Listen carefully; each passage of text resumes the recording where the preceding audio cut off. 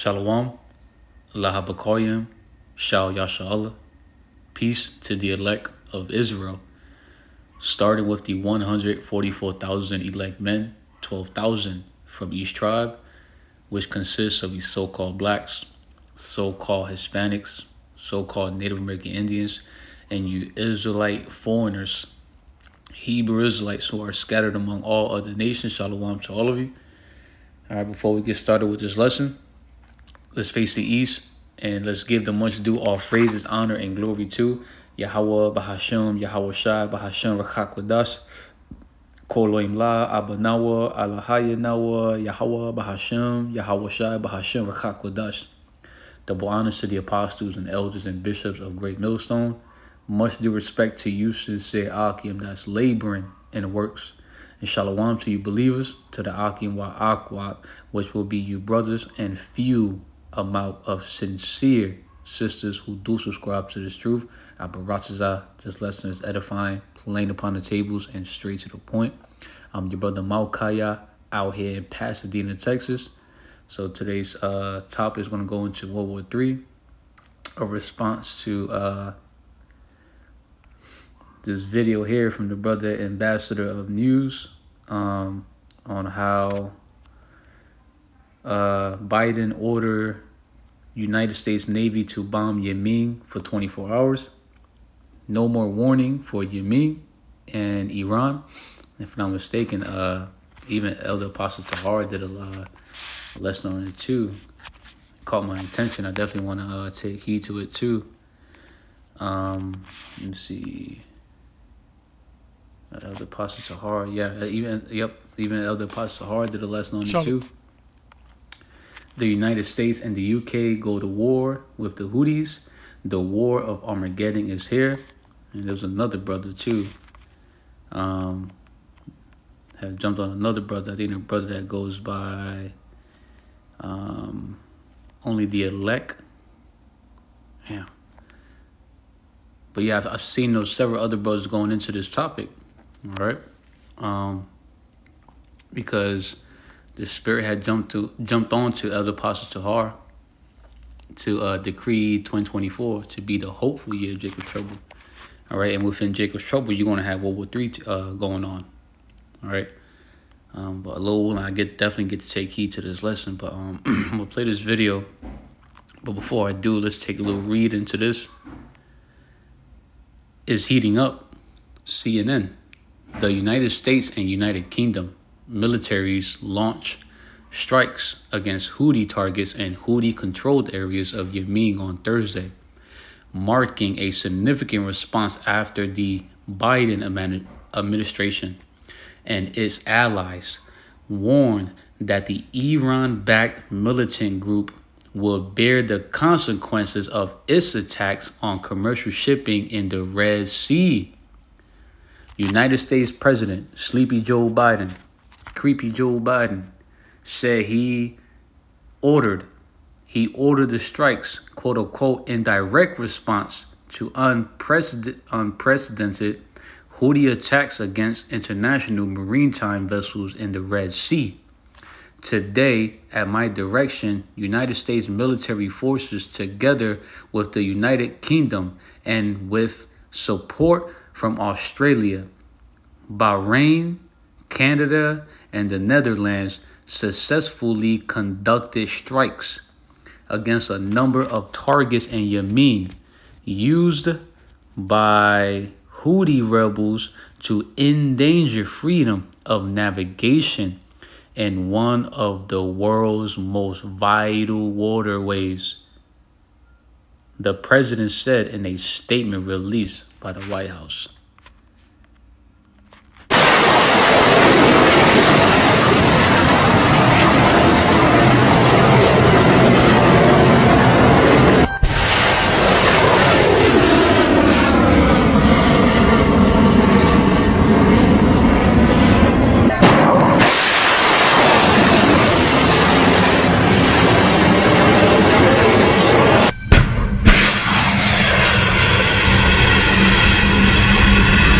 Now, a United States official tells CNN the U.S. military has carried out strikes on multiple Houthi targets in Yemen. I want to bring in our, our, team for more information. And Oren Liebermann, you're joining us from the Pentagon. Let's get the latest from you first. This is a big deal if the U.S. is attacking targets inside Yemen. The Houthis are, of course, backed by Iran. This war could be escalating big time. The U.S. and the U.K., to a large extent, have been telegraphing the fact that if attacks on commercial shipping lanes in the Red Sea, a critical waterway, continued, the U.S. would be compelled to act. We are now seeing those actions take place in real time. Now, this action that we are now reporting out of the Pentagon uh, clearly signals uh, that the situation in the Red Sea had become uh, completely intolerable for the U.S. and its allies. And we did see uh, a bit of a turning point last week when a U.S. official uh, said, following the weeks and weeks of provocations and the attacks from the Houthis in the Red Sea on these shipping vessels, uh, that they were essentially giving the last warning that there would not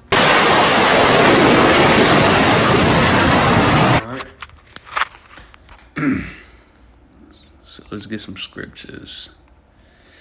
Let's get some scriptures.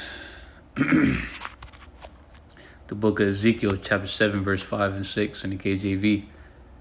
Thus saith the Lord Yahawah Bahasham Yahweh Shai, and evil, and only evil, behold, come. Only bad times, only perilous times.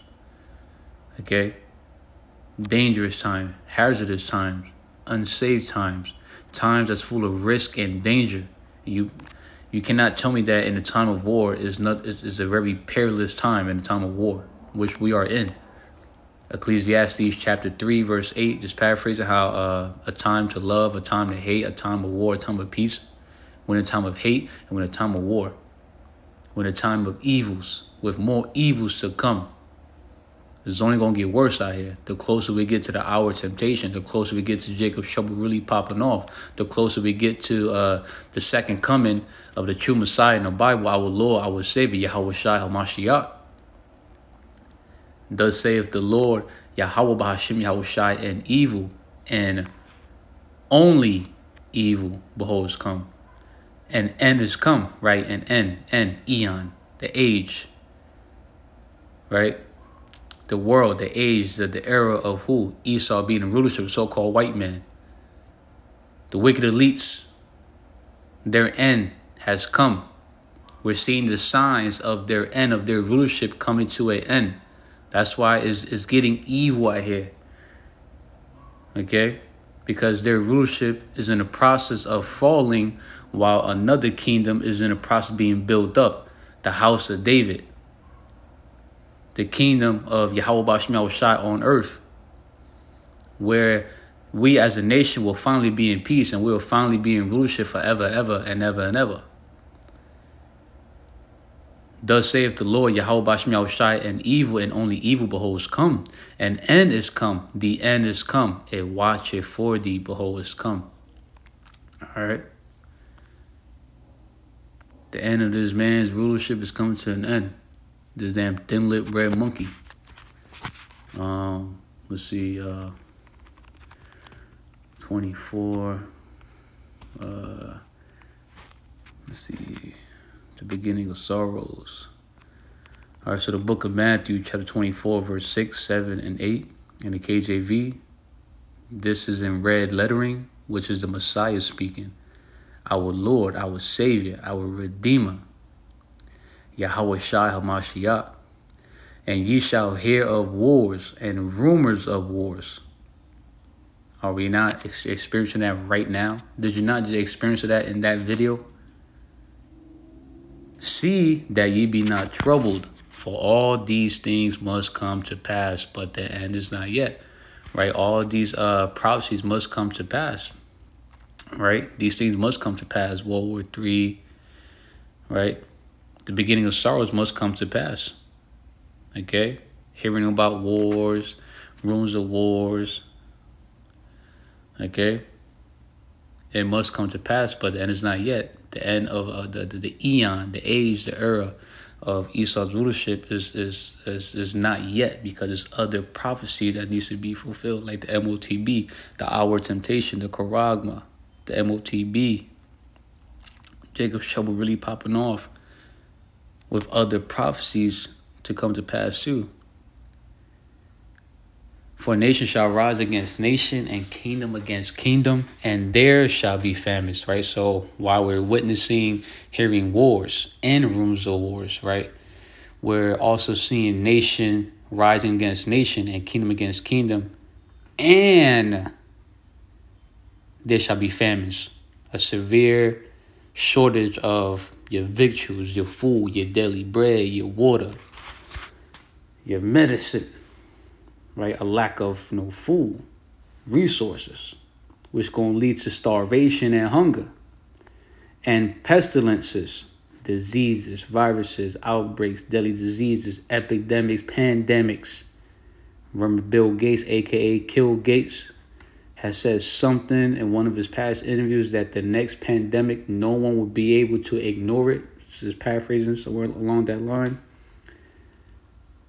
And earthquakes in diverse places, so called natural disasters in many parts of the world. Earthquakes also goes into commotions. Commotions, for an example, uproars, protests, even that's taking place. You get shaking. The, the, the so-called New Year 2024 start off very shaky over in Japan. 7.4 magnitude earthquake.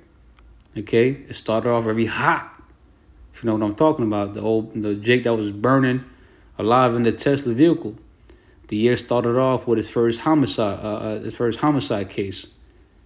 You know, just just you know, great evils with more evils to come. And earthquakes in diverse places, many parts of the world.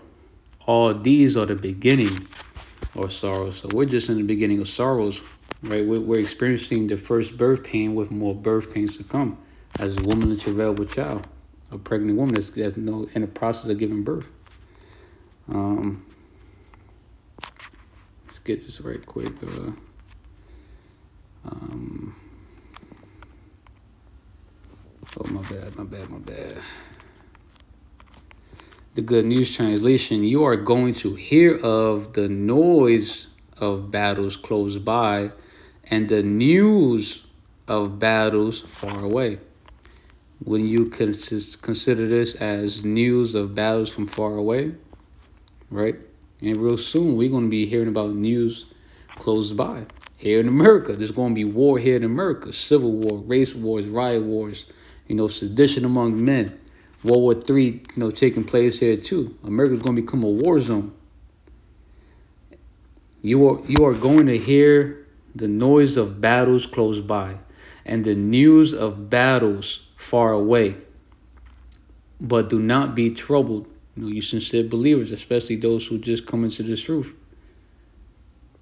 Don't be troubled when you hear about World War Three, the drive, this and that. All right, such things must happen, but they do not mean that the end has come. Yeah, because there's other prophecies that needs to be fulfilled. We're, we're definitely on standby through the spirit and power power of Yahawah Bahasham, Yahweh Shai Bahasham Kodash of what? The hour temptation. Revelation chapter 3, verse 10. Right? Because ye have kept the word of my patience, I will keep thee from the hour of temptation. Just paraphrasing. Right? When the MOTB is now mandatory in order to what? To what? To buy or sell. Right? Uh, Revelation chapter 13, verse 16 and 17. Just paraphrasing. With other prophecies too. Such things must happen but they do not mean that the end has come. Countries will fight each other. Kingdoms will attack one another. Are we not witnessing that right now? Come on. Can't say no. Countries will fight each other and kingdoms will fight one another. There will be famines. They left out pestilences here. There will be famines and pestilences and earthquakes everywhere, diverse places. All these things are to be all these things are like the first pains of childbirth. NLT. You will hear of wars and threats of wars, but don't panic. Yes, these things must take place, but the end won't follow immediately. Nation will go to war against nation, and kingdom against kingdom there will be famines and pestilences and earthquakes in many parts of the world. But all this is only the first of the birth pains, with more to come. All right, with more to come, more evils. All right. Let's get uh Revelation chapter uh, 11 verse 14.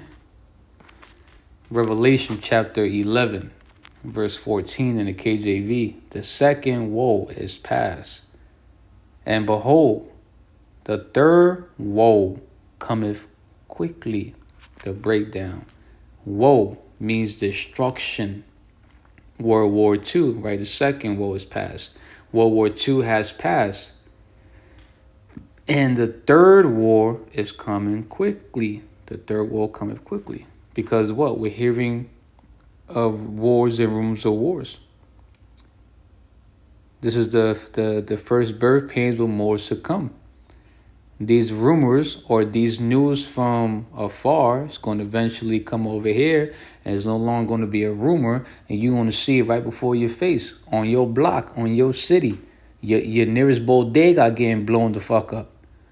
Your favorite Footlocker, Forever 21, your favorite mall getting blown up. Your gas station getting blown up. Your trap house is getting blown up. Your high school getting blown up. All right? Your block getting lit the hell up. Getting destroyed by tanks and, and, and, and, and ICBMs and, and explosions and shit. All right? It comes quickly. All right? And even though it seemed like it's tarrying, right? y'all keep hearing us like, oh, they always talking about that. Y'all always saying about that. They ain't it. You know, the, the typical, you know, fucking American here. Always got something to fucking say. Um, scripture goes into how it's no, there from no appointed time. Habakkuk chapter 2, verse 3.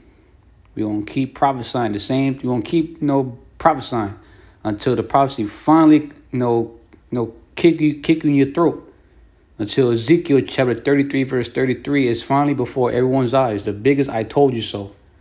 When all these prophecies finally come to pass, Lord will, then shall they know a prophet has been among them, just paraphrasing.